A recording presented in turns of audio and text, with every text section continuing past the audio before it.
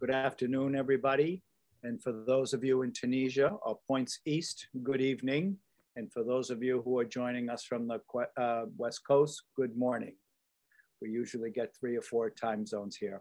Uh, my name is Bill Granara, and I am the director for the Center for Middle Eastern Studies. And it is my extraordinary pleasure to open this year's, this is our second year of our Tunisia, Tunisia newsreel, in which we um, have the privilege of hosting um, the best and the brightest of Tunisians who uh, give talks to us and inform us about what's going on in the ground today in Tunisia. Um, uh, Ouiem Chettaoui, who will be introduced formally by uh, Siham, our office manager, Siham Lamine, um, is will be speaking to us uh, not about the very, very current events, what's going on in Tunisia today, but something a little bit different. And I just want to express my tremendous gratitude to both uh, to Ouiem and of course always to uh. So again, to our wider audience, I welcome you back to our Tunisia newsreel. Um, things are opening up in Tunisia, and uh, hopefully we'll all be back there swimming in the beaches and eating wonderful fish uh, sooner than we think inshallah. Anyway, uh, without further ado, uh, again, I want to turn my, the microphone over to my, my uh, wonderful uh, colleague, um, Siham uh, Amin, who is our office manager in Tunisia, and she will um, introduce our wonderful speaker today. Thank you very much. Thank you very much, Professor Granara. Um, welcome, everyone. Uh, I'm extremely happy to be here today with Professor Granara for this uh, inaugural session of uh, our uh, Tunisian newsreel Notes from the Ground. Um, um, to start with, I, I, would like to say that originally uh, this talk uh, was subtitled Tunisia in the post-2011 era but um, it looks like a change of era has occurred and now uh, we call it uh, Tunisia post 25th uh, July 25th. So this is um, a joke. But uh, this is to say also that this is an exercise in immediate history. Uh, news are evolving here as we speak. Uh, it's, so it's not an easy ta task, and we know that for our guest speakers to be commenting on such moving grounds, and I'm extremely grateful uh, to uh, primarily to Ouiem for accepting this invitation. So it's a pleasure and honor to welcome you, uh, Chettaoui. Ouiem is a public policy specialist. Her work has primarily focused on security sector governance and public policy communication. She's a professor, professor agrégé at the University of El Manar in Tunis, where she focuses on pedagogy and training innovation as paths to policy reform. She is currently the president of OSAE, the Observatory for Food Sovereignty and Environment, and she holds a master's degree in public policy from Oxford University. Welcome, Ouiem. So this talk is structured a bit differently from what we usually do. It's an interview, so I'll ask a couple of questions for, for the next 30 minutes, and then we will open the floor um, for discussion. Uh, so Ouiem uh, wrote an article that was published in Jadaliyya in uh, August 1st, 2021, and uh, titled uh, Tunisia, Western Pundits or Hot Take Arsonists. the article was an eye-opener to many people. And in the paper, written after an intense week, um, so um, basically a week after July 25th, uh, uh, one of the most difficult months in uh, Tunisian recent history. Uh, she criticizes the lack of context and the poorly informed um, analysis uh, seen specifically in the international media coverage that relate the immediately uh, the, the events after July 25th. And she criticizes the marginalization of a large fragment of the voices coming from the ground and expressed by Tunisians themselves. But what uh, she's also doing uh, by pointing these non-balanced and possibly dangerous journalistic narration is saying that our understanding of these responses is, an import, is as important as our understanding of the event itself. So the reactions are key for the apprehension of the complexity surrounding July 25th. And uh, what the paper suggests is that we are facing a situation where the periphery informs about the core. And they should not be neglected as a source. And implicitly, um, what you are telling us, Ouiem, is that the various responses to July 25th should be seen and treated as elements inherent to the event itself. So this talk is somehow a follow-up on your article, uh, two months only, or two months, maybe two months is enough, after its publication. So I will start by asking you um, to, if you can, please give us a bit of context um, and uh, what happened on that night of July 25th in Tunisia. And if you can also tell us the reasons that made the shift of power possible and the factors that prepared for its re reception and let's say relative acceptance by a non-negligible part of the public opinion that later proved to be a majority um, and um, and also a non-negligible part of the Tunisian political and intellectual sphere. So um, UM, the floor which is yours for context and reasons.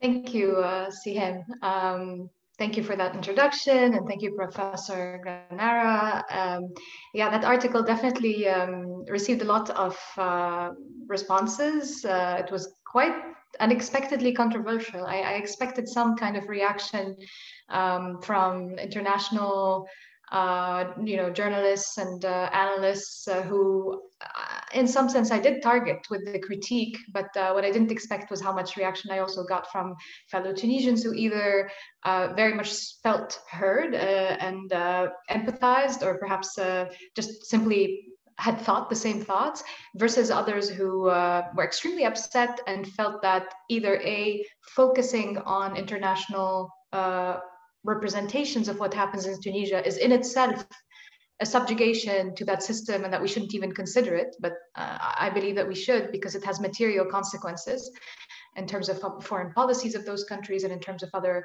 uh, kind of uh, regional dynamics that can be produced uh, through uh, basically creating narratives about the country. Or uh, those who felt that um, that it, it was 100% uh, inappropriate to even uh, uh, you know kind of create a, a, division between foreign and domestic interpretations and representations and that that was kind of somewhat uh, uh, me censoring voices which first of all, I do not have the power or the ability to censor people with huge, you know, establishment, you know, uh, support and platforms like the New York Times journalists or others. So that in itself was either flattering or shocking as an interpretation of what I can or cannot do. Uh, but it was also um, kind of revealing that, uh, you know, where some of the narratives that I was critiquing fit and you know were useful to some of the the, the Tunisian uh, uh, readers who, who actually either needed or used that, those arguments. Anyway, beyond the article, uh, you asked me what happened on July 25th. I think by now um, there's a kind of a you know a clarity that on July 25th, Tunisia's Republic Day, uh, following you know protests, uh, that morning, uh, uh, some of which were actually still taking place when the president uh, made his uh, announcement. Um, the president uh, invoked an article in the constitution that he believes gives him the ability to um, uh, respond, take exceptional measures that respond to imminent danger to statehood, national security, and the country's independence. And um, this article allowed him to take any measures necessitated by the exceptional circumstances according to the text of the of the constitution um, and as such he decided that he would um, uh, you know, fire or dismiss uh, uh, the head of government, Hichem Mechichi.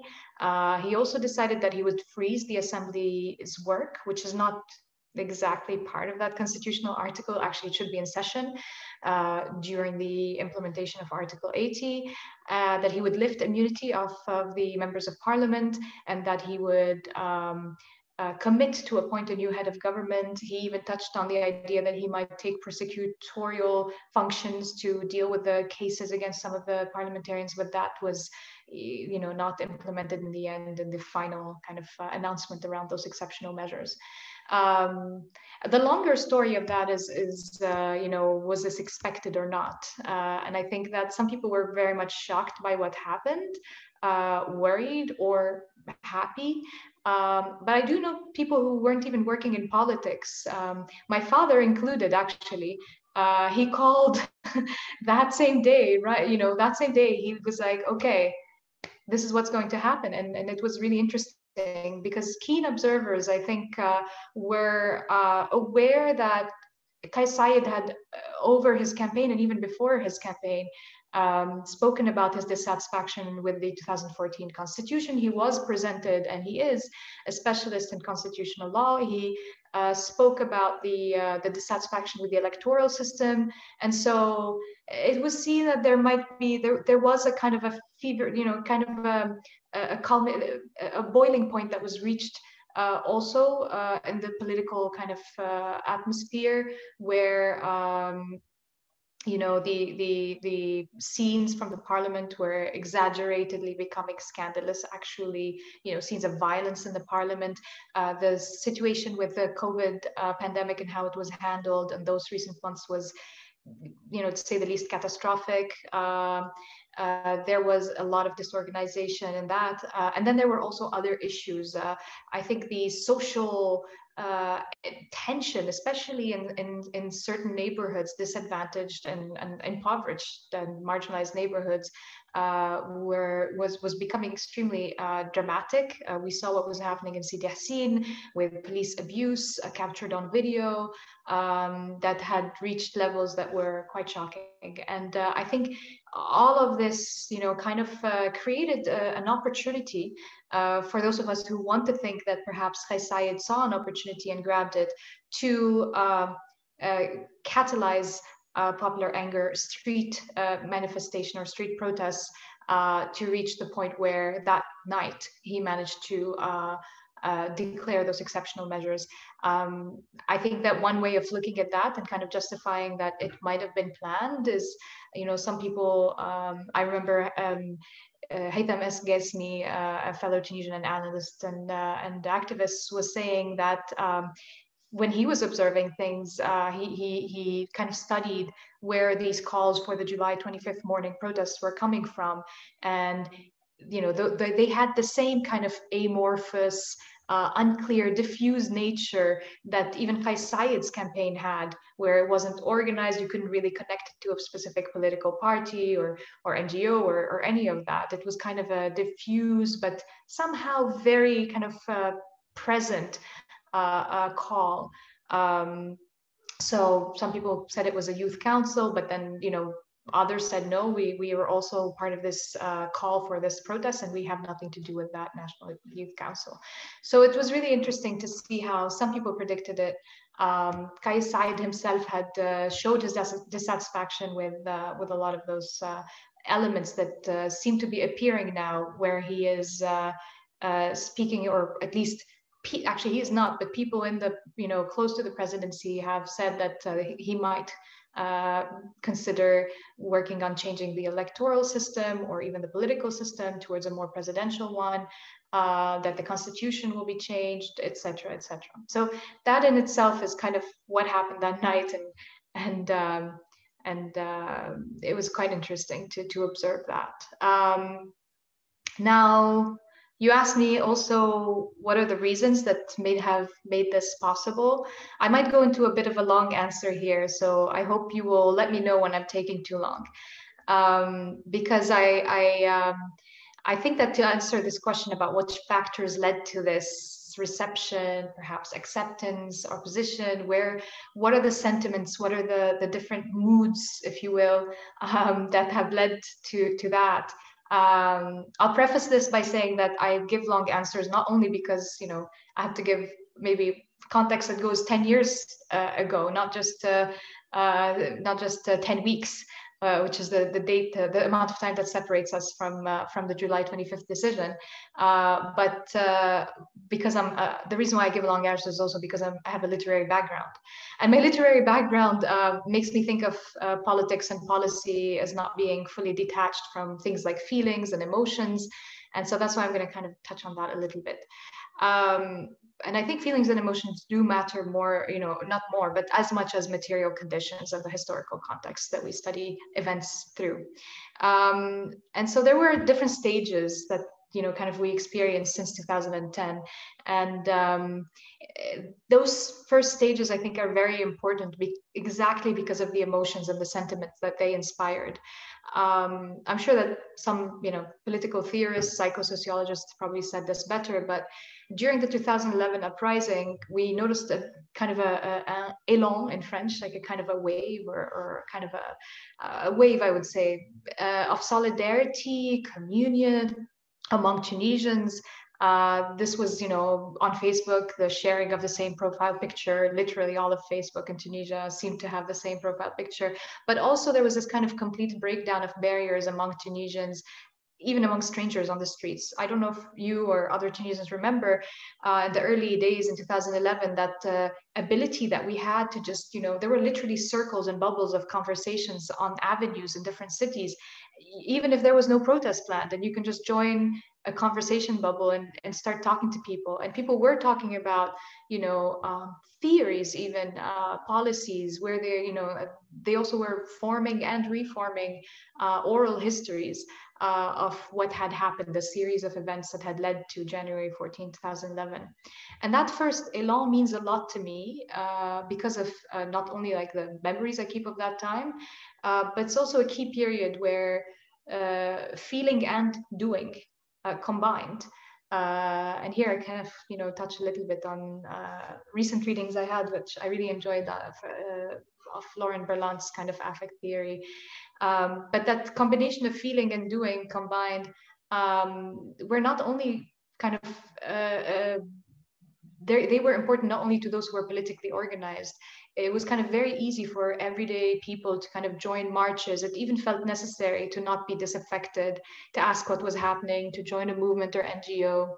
And it was a key period that had kind of a mood of sorts uh, that's necessary to revisit, I think, if we are to remind ourselves uh, of how we can go beyond the prevailing mood that uh, kind of continued up until the recent uh, events of July 25th, which were very much moods that were uh, predominantly um, uh, predominated by this feeling of like loneliness and defeatism that I, I anecdotally, but also I mean rates in in in uh, reach for help, for psychological help, for for mental health help had increased in Tunisia. On TV and in interviews and Vox Voxbox kind of sessions. You see a lot of defeatism and, and questions coming in. Um, uh, and and uh, being communicated uh, as in you know there's you can't do anything. This is how politics is. It's horrible. You know they're all the same. You know elect you know elections don't matter. My voice doesn't matter etc and right now actually if you see two strangers in tunisia as opposed to then um, you know meeting at a protest or more likely even meeting in you know bus station uh, it's a lot more commiseration and kind of a very needed uh, sharing of anger and dissatisfaction, uh, but a lot less uh, communication about, um, um, you know, uh, uh, the, the, the, the, solutions or, or, or even kind of uh, more kind of uh, constructive conversations. So it's a, uh, it's a lot of disgust, it's a lot of anger uh, against political elite, the government, um, the system of governance, etc. And so this exhaustion has set in, and I think that the transition from that first mood to of, of like this excitement and this uh, solidarity and this uh, um, kind of desire to change things around to this new one is the result not of necessarily a, a, a, lack of political maturity, which is often the reason given. You know, Tunisia is new, and so it takes time, and and uh, and uh, and so it's normal that people couldn't organize enough to achieve better outcomes after 2011. Um, I think it's very much a uh, an immediate the, the, the, the result of an immediate focus on performative democracy very early on. Um, and so that internalization of Tunisia's story, uh, uh, sorry, and that internationalization of Tunisia's story and its fate, which very quickly turned it into a, a site of study for international democratic theories, or political scientists, sorry, transitional democratic transition theorists and, and, political scientists, but also, you know, a, a, whole industry of NGOs and, and people whose expertise was to come in and kind of build, you know, the structures and the and the forms of democracy. Um, and it was, of course, also supported by, you know, sort of political parties or movements that intended to become political parties that wanted immediately to find ways of uh, and modalities to structure systems of power where they could have, you know, that power, uh, but did not allow very much uh, that idea uh, of giving time for the diagnosis of issues for holding actually democratic, delocalized dialogues around core issues, around taking concrete action very early on on accountability, which muhasba, muhasba was one of the things that we heard the most in those early days in 2011. And while you know reports were written and investigations were made, the the amount of time that that was dedicated and the kind of institutionalization of these practices uh, kind of went into extremes at some point in my humble opinion, uh, that kind of mm, allowed that defeatism, that kind of uh, to set in, and and that uh, deflated a lot of the of that original energy. Um, and so this idea of quickly pushing for the organization of you know electoral elections which is great you know elections are you know needed. But the without the foundation uh, and an understanding of what the goals were of these democratic politics and what the um, who the beneficiaries were it ended up with this performative highly applauded democracy um, that you know very quickly left people's demands repeatedly ignored after every election cycle and the co-optation even took some political parties and activists by surprise.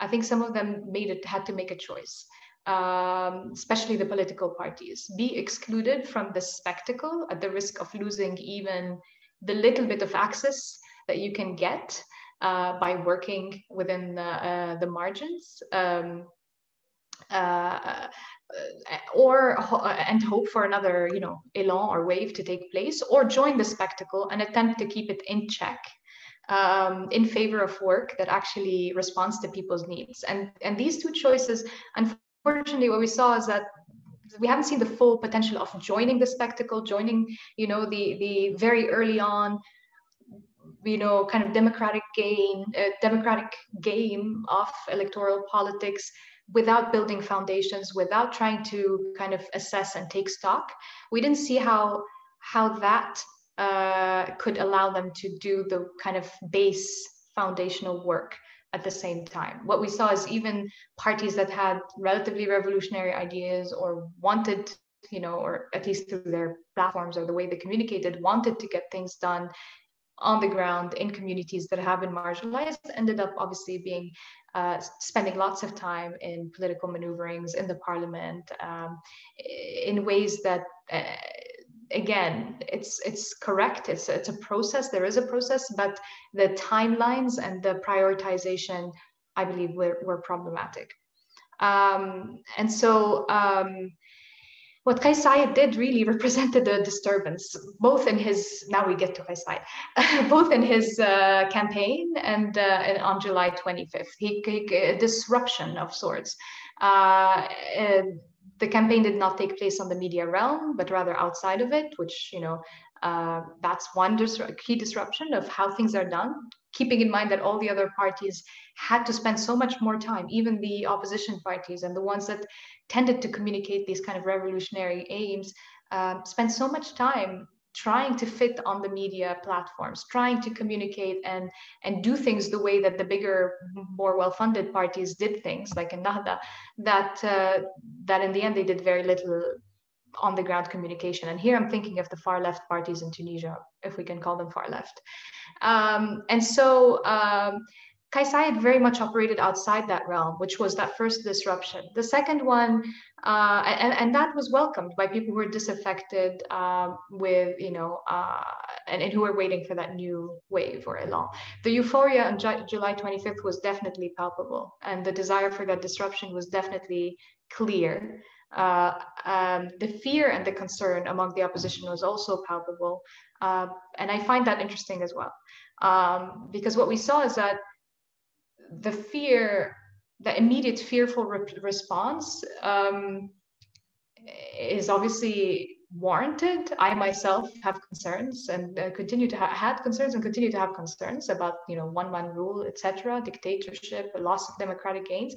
But I had so much more, and here I speak as a Tunisian, um, had so much more um, frustration with the continuous um, uh, obstacles that were posed in the face of any actual reform initiative. Um, reform in the sense of actually, you know, making sure that policies respond to, to, democratic demands, to people's demands on the ground. Um, and we saw the, the state of parliament, we saw the repeated uh, uh, choice to, to, to, to pass laws that are actually quite problematic if we compare them to the constitution and if we compare them to the, the early demands of 2011. We're talking here about uh, uh, uh, passing, for example, the, the amnesty law for corrupt uh, officials. We're talking about the, the, the repeatedly returning, but thankfully not yet passed law on uh, on uh, uh, preventing attacks on the police you know um, where, whereas it's, it's not necessary. Actually, we need an opposite law that uh, that actually protects citizens from police abuse um, if we are to, to design such a law. So, um, and we saw that there was repeatedly a, a failure uh, of, of state institutions. Uh, they were uh, especially public services, uh, the uh, you know the health the health sector, the educational sector. All of these things were building a lot more um, anger and, and actual fear uh, about the complete uh, uh, collapse, much more so than you know the idea of of um, a glitch in the democratic process, which uh, I trust Tunisian people could very easily um, counter and find ways around um, through their, their ability to be on the ground and outside. So that, that little glitch or, or blip, we'll, we'll see where it ends up heading um, it is, uh, in my opinion, um, something that, when compared to the to the to the the the the down kind of downward trend of the past 10 years um, I just worry about the the the the, the rel- basically the relative you know the rel- relativism and the ability to ignore uh, what has kind of become a backdrop, a nuisance, an acceptance that you know there's a pain in the neck about what's happening to our national industries and our national public services, and they're kind of like in the background, and we've got grown accustomed to them, um, and we've grown accustomed to the endemic, you know, kind of corruption. And I don't say this, you know, about everyone. I myself as am part of that kind of workforce in the kind of uh, NGO world and the political analysis world and the uh, and the uh, political observer world. It doesn't mean that we don't care um, about precarious labor, about food dependency, about high foreign debt, about failing public services, but it's just that it kind of operates outside of the clearly defined deliverable based work uh, for funding partners or donors. And so it very quickly became those things became very much questions where people on the questions on the margin demanded and discussed and and and um, uh, you know discussed by people on the margin. People who themselves uh, you know the protests in rural areas the protests in, in, in among farming groups the protests in areas that have no access to water etc those are not as represented as questions uh, that have been raised, for example, since July 25th, um, and other questions uh, that are kind of discussed in Tunis and, and its whereabouts. So that's kind of one of what I'm trying to touch on here. So um, I gen genuinely think that that that that operate not you know the the kind of work that we've been doing um, has kind of uh, worked in favor of um, forgetting a little bit about those questions. And then there's also the question of consensus, consensus high level politics. And with that kind of uh, big influx of uh, democracy experts and transitology experts and, and, uh, and with that influx of kind of, uh, and as well as, sorry, an ideological tendency uh, to see uh, that kind of democratic gains as, as, as being very much bound within a certain framework uh, of consensus politics. Uh, we've kind of very quickly um, begun to see this kind of um, um,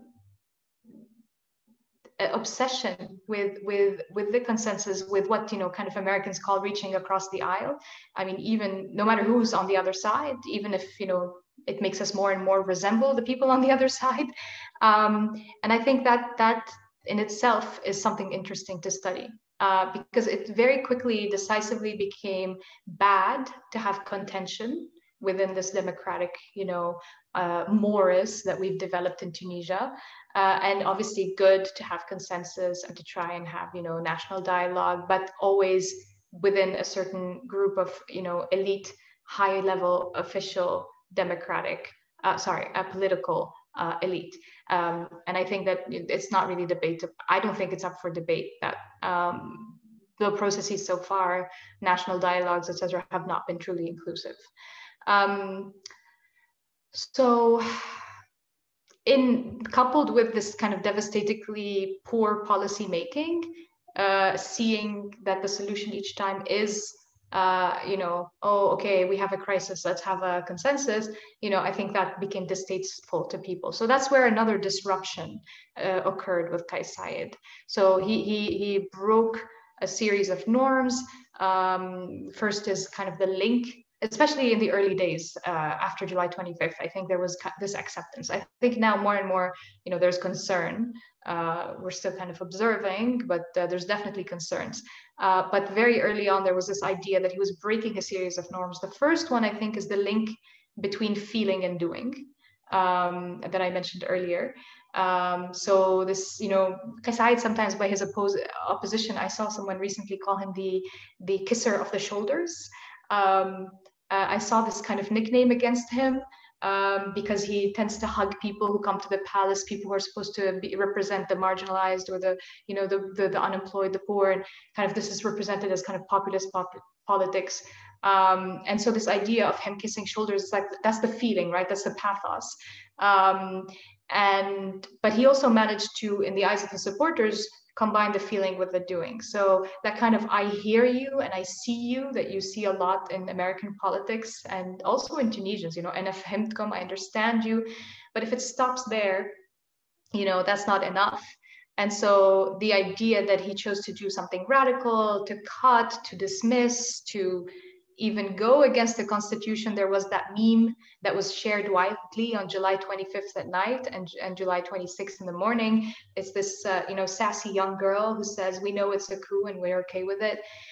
I mean, that's, you know, problematic, but at the same time, there was that, that very kind of, uh, you know what, he's doing something. Um, and I think that's you asked about the reception and the acceptance, and I think that's where uh, some of it lies. Um, and then uh, even if it's you know a dangerous departure from the everyday apathy, it is still a departure uh, from that feigned concern uh, that people have gotten used to from politicians. Second of all, it was a break from the consensus, which I talked about. Um, and then uh, I think he broke the norms of operating within the system and its con constraints. I have a very funny anecdote about this that I'd like to share with you, Sihan, because I know that you're interested in urban uh, and it's your specialty, right? um, so um, the the the the idea that Kais Saied is operating outside of you know the the limits of the constitution or even bending it, etc. I think it, it, it resonated a little bit with people who felt suffocated by certain um, things. You know, this came after a period of very ineffective and very harsh and very long series of either curfews or you know. Uh, um, lockdowns uh, that weren't supporting people who didn't have access to you know money or fund you know uh, food or people who live you know day to day in terms of money. And then to and then to to have to feel constrained and suffocated in that sense it also happens in terms of how people sometimes live everyday life. And um, one anecdote i have is is uh, building permits uh, for your home or your shop front. You know, you have to keep four meters from the front of the house. You have to keep 15 or 10 meters from the middle of the axis of the road that's in front of your house. So you can't build on your full property. Well, since, since July 25th, I have heard multiple anecdotes and multiple reports from friends who are architects and, and, and engineers saying, you know what, people are building like mad people are currently doing whatever they want because they feel that after Kais Saied, you know, uh, the telatib officials, the ones that work for the MOI at the moment, who who check, who audit, you know, these kinds of things, are not concerned by these uh, silly kind of rules. There, there's a bigger battle right now against corruption, and uh, and this country is currently kind of, uh, you know, this is your window to to build that extra floor or to gain that extra meter as an extension in your home or whatever. So I think that's a really interesting, um, almost um, I don't know if it's a metaphor, but it's it's a, it's almost like an interesting representation of that will to kind of uh, break boundaries a little bit, and seeing him as someone who was uh, kind of a, a, a, breaker of boundaries through his constitutional acrobatics. Um, and then um, the other th way that he's kind of breaking, you know, that mold, um, I think is very much the way that we see um, uh, the, the night, the night itself when people came out uh, you know, there's a curfew in place. You know, Kais Saied announces that he, he did not announce that the curfew was not in place. He did not announce that, you know, that's it, you can go out after, you know, 10 p.m. or, or what was it? And yet that was the first reaction. Obviously, it was a very good thing for him politically, you know, that people went out on the streets. Um, but the very, you know, the very kind of uh, impetus that had people go out and the disregard for the curfews almost, again, gives the idea that Kais Saied is now, you know, breaking all those walls down. Uh, which I thought was really interesting because he's quite a rigid character and quite the legal kind of uh, stickler. Um, so that perception of him as a, as a liberator from rigidity, I think is really interesting. Uh, just as currently this perception of him as, you know, someone who is uh, appointing women, uh, you know, as ambassador to the US and as head of government, uh, it's exciting, it's interesting, you know, for these, you know, uh, fellow women and, and for Tunisia's precedent in that sense. But I think that it's also important to keep in mind that Kais Saied has a holds pretty conservative views on a lot of questions, uh, as when he, which about which he was interviewed uh, prior to his campaign, uh, in terms of social um, progressive values, etc. So um, I think that um, the idea um, of why and how it was accepted, I think very much Kais Saied had a lot of factors helping him in that sense uh, that I've mentioned so far. Um, what made it possible, I think also, interestingly enough, and I'm borrowing this analysis from a friend and analyst, uh, Tunisian as well, Habib Sayah, is this idea that uh, if Kais Saied's lack of party backing and lack of representation in parliament kind of made him a one a one uh, a one man show in a sense. And because he was president um, his plans for changing the constitution his plans for you know uh, changing the regime perhaps we, we, we hear echoes of this uh, the, the political i mean system um, all of this i think could have only been done uh, if he were indeed president and if he kind of did this kind of thing with the constitution um, and so whether it was, you know, a master plan or not, but uh, but the very the very plan he had and the fact that he didn't have that he wasn't a you know member of parliament the, the fact that he was a one man solitary kind of um, uh, uh, a force of sorts has allowed him to uh, make that call uh, and use that article. Um, I think I'm speaking for a long time, but I know um, that uh, we'll have a chance to talk about more things. We yeah. are, uh, since this was a lecture in itself, we will skip the rest of the questions and go directly to to the to, to the questions from the audience. I mean, this exactly. is this was excellent. It was very hard to interrupt you. Thank you very much. It's extremely insightful. Thank you. so you. if you would like to just wrap this up or conclude on this, and then we'll take the first question. There is a question, very, very interesting question on performance on the spectacle. And um, yeah. so as you wish, I can read the question if you if you would like to to wrap this part and then we and we skip to the question. I think uh, I think I've I've said basically everything. So I'll I'll I'll uh, I'll wait for the uh, questions. So uh, so the, the first question is um, uh, is about the spectacle and how do you see the role of international NGOs and international funding in um, in consolidating a particular kind of neoliberal democracy in Tunisia, as opposed to one composed of the Tunisian people, um, revolutionaries. Yeah, very interesting. So, how do you see the role of international NGOs and international in consolidating a particular kind of neoliberal democracy in Tunisia, as opposed to one composed of the Tunisian people? I, I definitely see that that that is a role that is in itself uh, the result of the history of international development. I think it's it's not detached from it, right? There's a from the 60s or 70s onwards, I think the 70s more like it, um, the you know that kind of that became an industry in itself. And industries have their norms they have their standards they have their operating procedures and they have you know their own culture.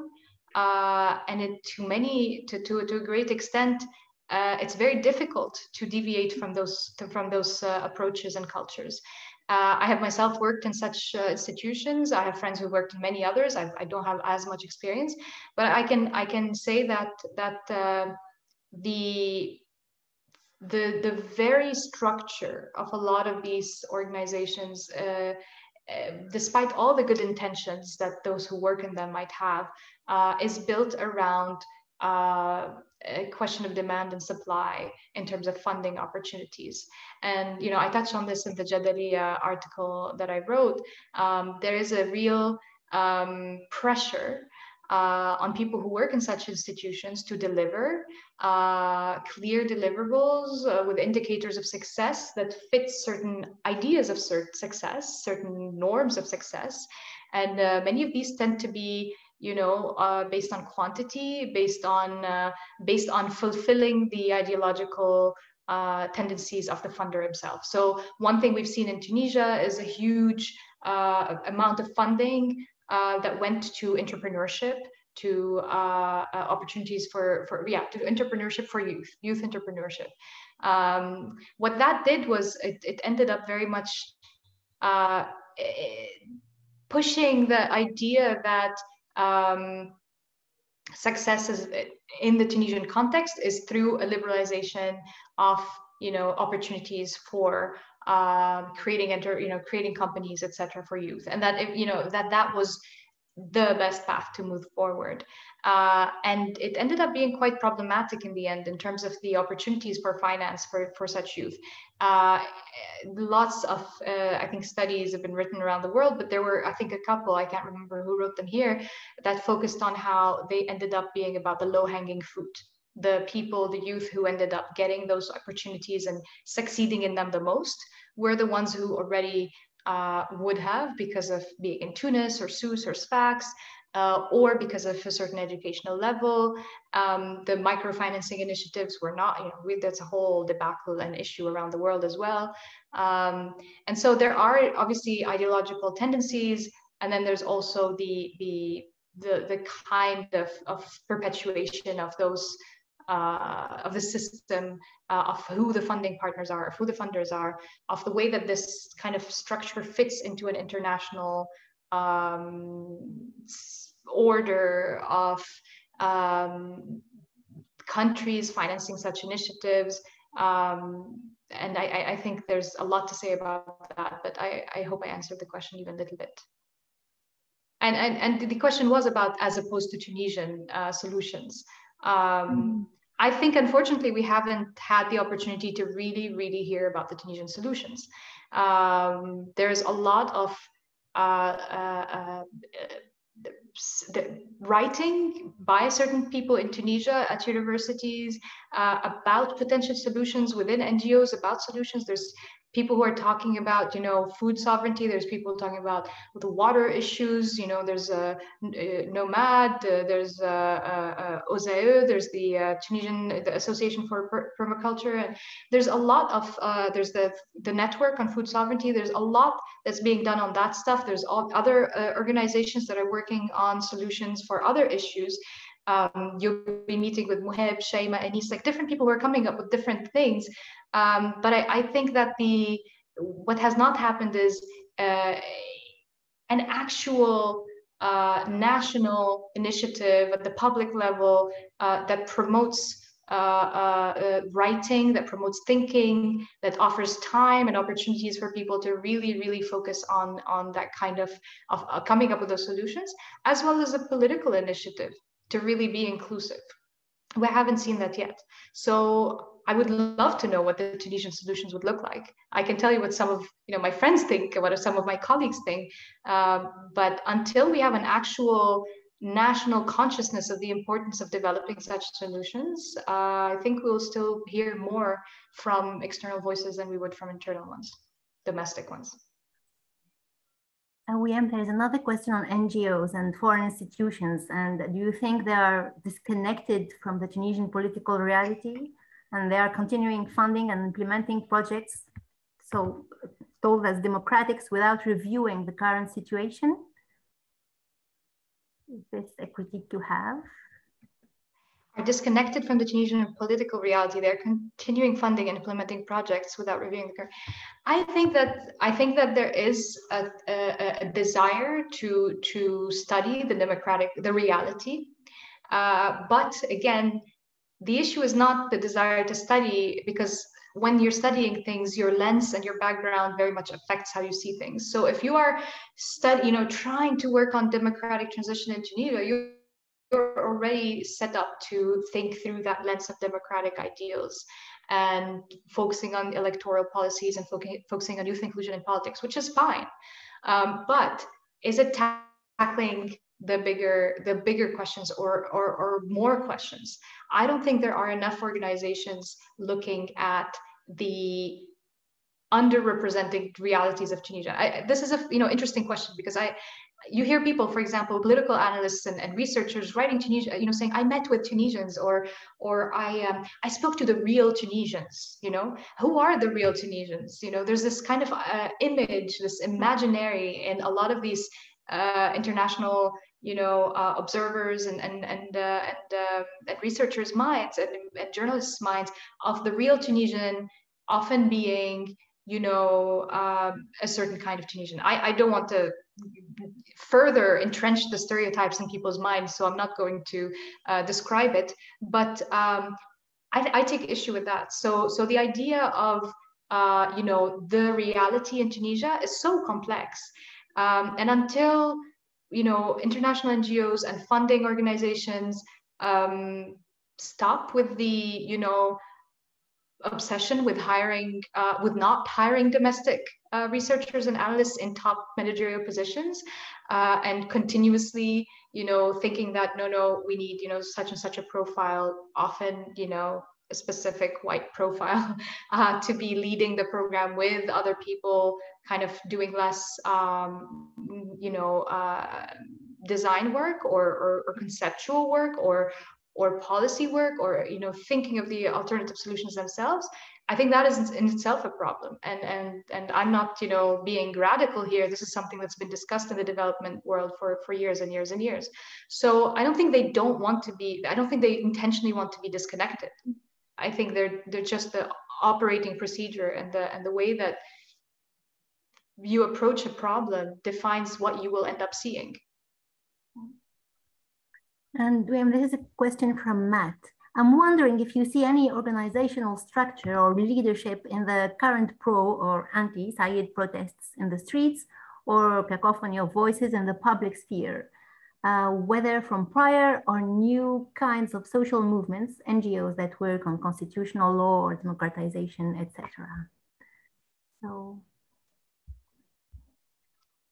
an alternative. Um, so a pro, so is there an organizational structure in the current pro or anti-Saied protests on the streets or Whether from prior or new kinds of so do we see organizational structures basically, whether they are pro or for uh, or anti, that work on constitutional law democratization? Um, I'm trying to understand the question. I, I, I think that um, right now, different organizational structures or already established ones have communicated their stances. Um, some of them do work on constitutional law, some of them are uh, you know, the, the unions and the syndicates of different lawyer groups and, and judges groups. Um, Mm-hmm. Um, is that did I understand the question correctly, Sihan? Do you think that's what uh, Matt intended? I, I would understand that. I think so. Yes, maybe the role of yeah, parties. I, I, would I would include the role of parties and what they are what they are doing. But uh, maybe Matt, you can you can write a follow up. Okay, so he said he says Manich Msamah, are there any movements coming out in coalitions? Uh, there were there were definitely um, attempts to so these so you mean uh, uh, new ones as opposed to pre-established ones. Matt. Mm. Uh, there was definitely an initiative that was launched that was very interested. It, it interesting. It had a lot of um, points that they wanted to work on. Um, they, it was calling for feedback. They had launched, uh, you know, uh, online surveys where you can add um, your your feedback on the kind of platform they had developed, and it was uh, it was uh, represented as a as a, a, neither pro nor anti. It was one that took into account the situation and the critical situation and the need to have organization within it. Um, I am trying to remember the, the name of the initiative. It was kind of like the the the, the National Commission for uh, mm. change or something like that. Um, I don't quite know where that initiative has led, but I'm hopeful because a lot of those people that I saw working on that initiative uh, had also worked on uh, successful initiatives like Manich Msamah uh, and others. So I'm I'm curious to see where that will end up leading to. Uh, an interesting thing that that phenomenon. I'm sorry, Matt, if I'm deviating from your question, uh, is that soon after the July 25th decision. Um, or measures or this announcements, um, we saw uh, political parties officially uh, announced their existence. There were a few, like uh, two or three that I know that are more on the left uh, that call, you know, said, you know, we're a new party, we're here. And I think there was another one that sounds very much like they are pro Kais Saied that uh, I will share an article about. Actually, no, it's still it's still being written, I think. Uh, um, but if the team from Meshkal is, is online, maybe they can they can let us know if that article is coming or, or published. I'm sorry, I'm not keeping up to date, but there is there is there is uh, there are political parties that are uh, arising. Uh, whether in response, neither pro nor for, I can't say which, mm-hmm. um, but there was that coalition or commission that that people are trying to create. At least that. I'm sure there's other initiatives at the local level, um, and that's something I'm really interested in in trying to see. Um, is you know uh, very much had a delocalized project. So are there invisible little clusters to invisible to us obviously in, the, in, in Tunis unfortunately that are working uh, on on uh, on this kind of uh, solution development? Thank you Ian. Listen we have uh, six minutes left and and wonderful questions. Uh, so I will let you choose one on the on the prime new prime minister one uh, Biola on the consensus and this break with performative democracy. And uh, an important one that we would leave maybe for the end is from Mohammed. And he says, what would be your red line on an undoubtable evidence to affirm that Tunisian regime became a dictatorship? So you can link. Okay. okay. Uh, well, regarding the prime minister, I can't say much. I think it will be very interesting to observe. I know that uh, there's the, the current debate was, you know, does it even matter whether it's a woman or is it a truly an interesting precedent? Is this a tokenism? Is it symbolism? Um, I can't really comment. I think regarding her actual uh, capabilities, you know, uh, it will be interesting to see what she does. There was an article about her role in the World Bank funded project, which uh, ended up being not very uh, the project, not her role, uh, ended up not being not extremely um, uh, a great use of funds from from what that one article said. But uh, yeah, can't comment more. Um, Aula um, designation as a break with consensus politics. Uh, it imposed an end to political infighting, but in what ways did it foster contention or allow space for alternative politics? Also, in what ways does Saied break with what you described as a performative democracy? Uh, what do you think are the alternatives for understanding democracy beyond liberal transitology focused on elections and institutions? Wow, that's a huge question.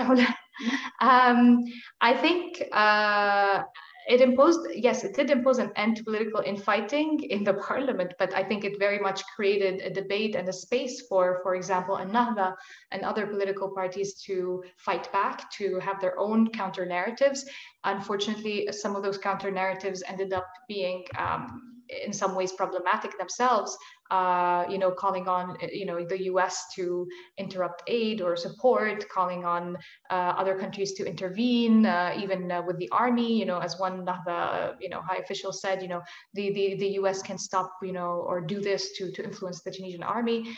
Um, so I think it's, it's, uh, it's interesting to see um, the, the infighting um, or the at least the fight the fighting con, you know continue in different ways. Uh, what is interesting is that uh, for uh, a coup or a considered coup or uh, an assumed coup, um, there's been a lot of room for those for those alternative uh, uh, you know narratives to emerge. Um, and then uh, it also created space for uh, infighting within the parties themselves. So um, I'll just here point to the the divisions that are happening in Ennahda itself. Um, I think that's that's all I can say there. Uh, you wanted to, to work on that final question? Yes, the red line one. The red line one, please, and then we will apologize to those. I will I will copy the questions and then send them to you. My uh, personal my red personal line. red line to affirm that the Tunisian regime became a dictatorship. I think the day that we see as much crackdown and violence against contentious voices as we have seen over the past 10 years, it would be uh, uh, the beginning of red line the reality is that I felt that there has been a lot more opening of debate, and and uh, and unfortunately, I, I, I can't deny it. You know, I, I have concerns about the, the, the procedural elements of what has happened, but technically speaking, uh, to see the president actually uh, go out and uh, and reprimand, although I'd like to see more police officers uh, and the MOI for reacting violently to a protest that was uh, held when the when where, where whereas the head of government was actually praising uh, police forces for their professionalism when children and thousands of youth were arrested in July and February. Uh, I think that would be uh, the beginning of the red flags for me. Right now, the only red flags I see are um, procedural, but it's still a wait and see situation.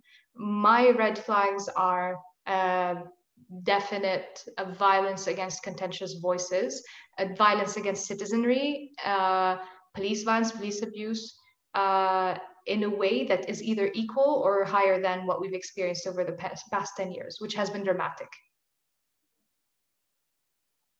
This is very clear. Hope we will never reach that point.